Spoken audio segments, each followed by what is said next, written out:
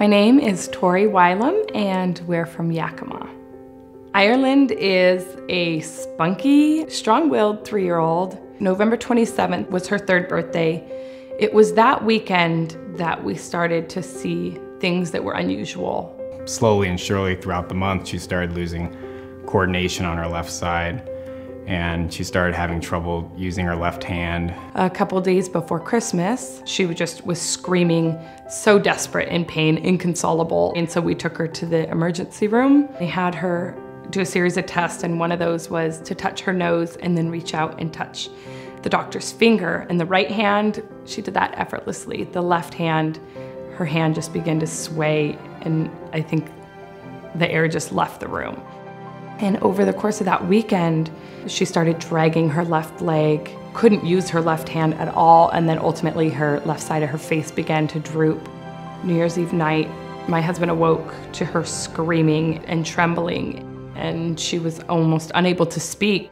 And at that moment, we decided to take her to Seattle Children's Hospital to the emergency room. So we jumped in the car and drove through a snowstorm and got her there. We were all in the emergency room, and the doctor asked, What's your worst fear? I uttered that our biggest fear was a brain tumor. She looked at us and said, Ours too.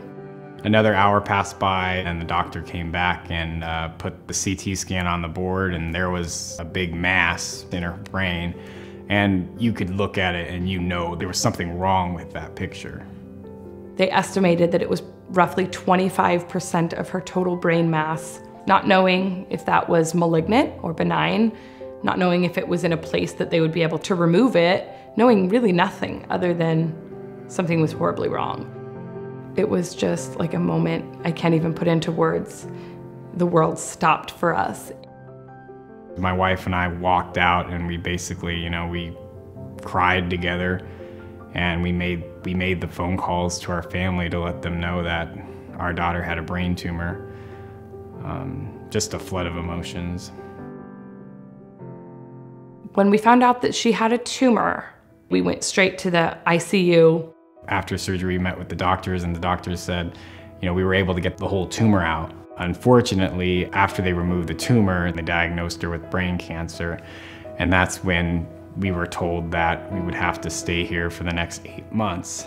My wife and I were, we were staying at hotels. When we heard about the Ronald McDonald House, we were calling every day because it was catered to kids that are going through either cancer or, or some diagnosis. Ronald McDonald offered the kind of environment for a kid that going through something like this you just don't find other places. So we continued to call and we were so thankful that in late January they were able to open a room for us and we were able to move in. Ronald McDonald House has helped our family tremendously. It really became home for us. When we walked into our room, it was like a sigh of relief. And it actually became a sanctuary to our family, which I would have never predicted that happening. And we would come home after a long day of appointments, and there was food already prepared for us and volunteers that gave their time and their effort just to serve and to bless families like ours. The time and the energy that that saved us as parents of a sick child, you just can't, you can't put that into words. Ireland's looking great and her outlook looks very, very promising. She finished uh, her last of 30 radiation treatments and as of now she's cancer free and hopefully we'll be starting preschool in the fall and we pray that she'll go on to live a long life I am most grateful for people that we've met, friendships, people at the desk at Ronald McDonald, people serving dinner. I was told how much of this place is supported by donations. When you're donating to Ronald McDonald House, it's going somewhere. You never know until you're in that moment of desperation and you need a place to stay and you need somewhere that's close to the hospital. Ronald McDonald just opens their doors to those families. We are so grateful and so thankful for Ronald McDonald House. And I can't imagine the situation we'd be in if there wasn't a Ronald McDonald House for our family. I never thought in a million years my daughter would have cancer, and she did have cancer. And Ronald McDonald opened up their doors to my family and helped us out in a desperate time of need. You guys have changed our lives and you've carried us through this journey. I just thank you for playing a part in Ireland's life and just showing her, teaching her about compassion.